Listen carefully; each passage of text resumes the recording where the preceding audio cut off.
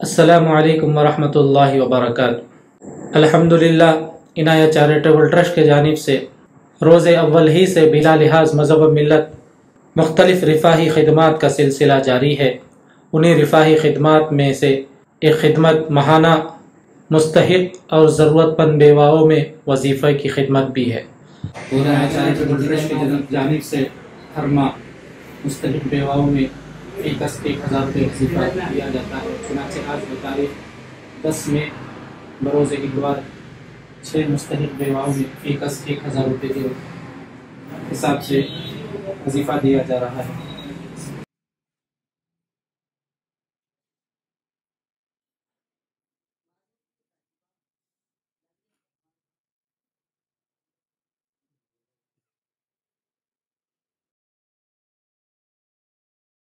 इसी तरह कैंसर के मर्ज़ में मुबतला एक नौजवान जो तकरीबन डेढ़ साल से इस मर्ज़ में मुबतला है।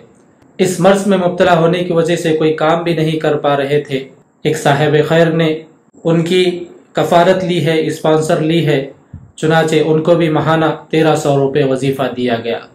मैं अहल खैर हजरात से गुजारिश करता हूँ, आप भी अपनी जानब से एक या दो बेवाओं की महाना वजीफ़े की ज़िम्मेदारी लें ताकि ऐसे बेवाए और ऐसे बीमारियों में मुबतला हज़रत सुकून से अपनी ज़िंदगी गुजार सके। अल्हम्दुलिल्लाह इनाया चैरिटेबल ट्रस्ट मौलाली की जानब से बाद तहकीक इन अफराद में इमदाद जारी की जाती है।